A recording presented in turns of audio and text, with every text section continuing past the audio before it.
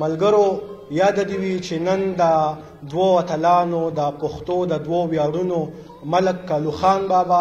او د سیدانو فخر د پښتنو فخر سید جمال الدین افغان سیمینار دی یاد دی وی چې د صابر د رڼا ملګری تحریک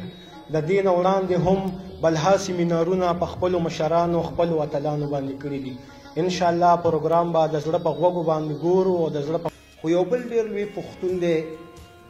دا زه صرف هغه خبرې کوم چې چا ما سره سمرسته کړې ده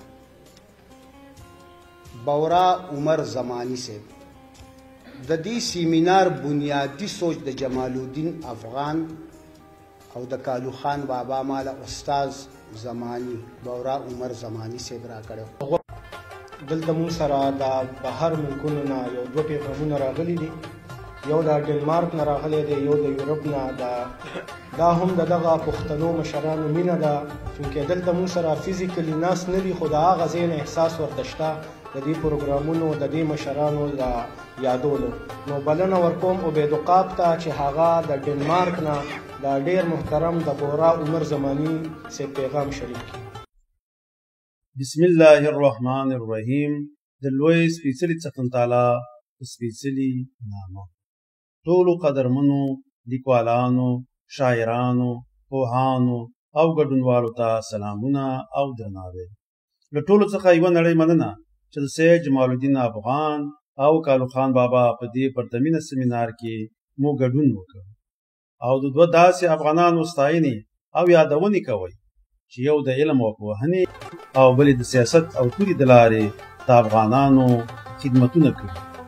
په دا چې کالو خان بابا د پردیو د جوړ کړل شوي نصاب د لارې پښتنو ته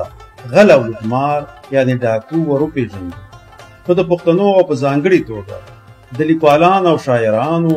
د لاریونو له امله یې د پښتونخوا د نصاب د اړوند کتاب څخه هغه مقاله لرې کړې شوه خو په نصاب د غیر پښتنو د غلبې د وجې د پښتنو نامتو او تاریخي شخصیتونه پښتنو ماشومانو او ځوانانو ته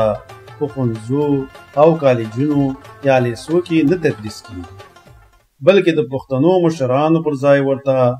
د ښونځيو، کاليجونو يا ليسو په ټولګو کې داسې مشران تدريس کيږي چې په خلاف يې پښتانه مشران جنګيدلي دي او په حقيقت کې د پښتنو سره هيڅ تړاو نه لري له نېکه مرغه چې سید جمال الدین افغان د افغانستان په درسي نصاب کې شتون لري او په ښوونځیو کې تدریس کېږي. سید جمال الدین افغان په خپل افغانیت ویاړمند و. دی افغانستان کې زېږېدلی دی. په کالو خان بابا او سید جمال الدین افغان باندې به پوهانو پوره څېړنیزې لیکنې کړې وي. او له دې تاریخي شخصیتونو له تاریخ او کړنو څخه سینارونه جوړوي. لکه څنګه چې زموږ ژبه تر اوسه په پښتونخوا کې د دفتر ژبه نه ده. کله چې یوه ژبه د دفتر ژبه نه شي، نو هغه د اقتصاد ژبه نه شي کېدای او چې یوه ژبه د اقتصاد ژبه نه شي، نو هغه د ضرورت ژبه نه شي کېدای. او چې یوه ژبه د ضرورت ژبه نه شي، نو په هغه ژبه کې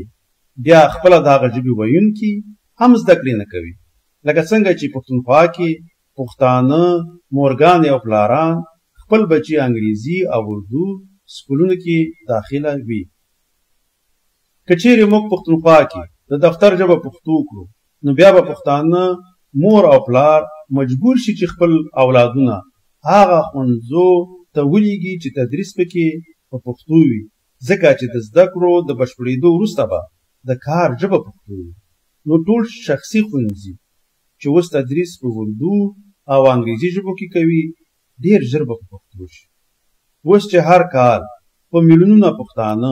مورګانې او پلاران خپل اولادونو ته هر کال په میلیون روپو په لګښت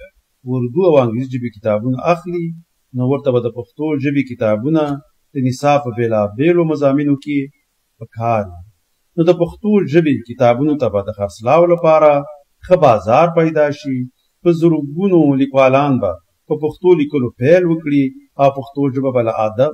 او تاریخ سره سره د ساینس او ټکنالوژي په ډګر کې په ډېر لږ وخت کې چټک پرمختګ وکړي او د نوي عصر د غوښتنو سره سم به د پرمختیا په لور حرکت وکړي. ډیر محترم ورور صاحب پیغام مو اوس.